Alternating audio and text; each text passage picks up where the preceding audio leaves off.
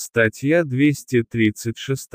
Нарушение санитарно-эпидемиологических правил. Нарушение санитарно-эпидемиологических правил, повлекшие по неосторожности массовое заболевание или отравление людей либо создавшие угрозу наступления таких последствий наказывается штрафом в размере от 500 тысяч до 700 тысяч рублей или в размере заработной платы или иного дохода осужденного за период от 1 года до 18 месяцев, либо лишением права занимать определенные должности или заниматься определенной деятельностью на срок от 1 года до 3 лет, либо ограничением свободы на срок до двух лет, либо принудительными работами на срок до двух лет, либо лишением свободы на тот же срок.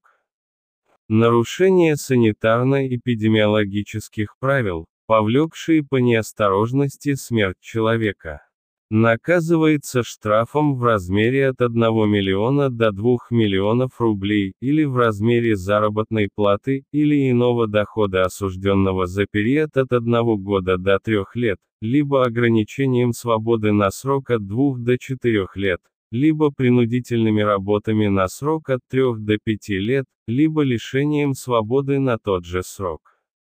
Нарушение санитарно-эпидемиологических правил, повлекшие по неосторожности смерть двух или более лиц.